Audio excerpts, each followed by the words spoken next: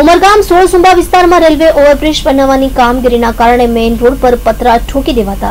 સામે દિવાળીએ રોડની બંને બાજુએ આવેલા દુકાનદારોની રોજગારી છીનવાઈ જવા પામી હતી.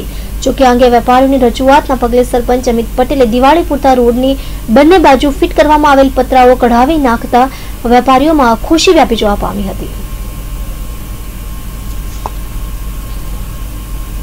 અમારી એક ગેટ નંબર સિક્સટી સિક્સ માટે આરઓબી ડીએફએફસી યુઆઈ અને સુરસુમા ગ્રામ પંચાયત એક સંયુક્ત મિટિંગ હતી, જે આરોપી સિક્સટી સિક્સ ઉપર બની રહ્યો છે. એ હાલ કાર્યરત થઈ ગયો છે. એનું ડાયવર્ઝન ક્યાંથી આપવું અને કઈ રીતે આપવું એની ચર્ચા વિચારણા હતી. પબ્લિકને તકલીફ નહીં થાય, એના માટે કઈ રીતે અત્યારે દિવાળીની સિઝન છે તો પબ્લિકને ઓછામાં ઓછું બર્ડન થાય અને કામ કરી શકે એની તૈયારીઓ કરી હતી. એટલે આજરોજ અમે જીઆઈડીસી યુઆઈએ આરઓબી અને એનડીએમએફસીના જે કંઈક હોદ્દેદારો હતા એમની સાથે ચર્ચા વિચારણા કરી વહેલી તકે આનું કામકાજ ચાલુ થાય અને જલ્દીથી જલ્દી પૂર્ણ થાય એની, એના માટે આજે મિટિંગ રાખી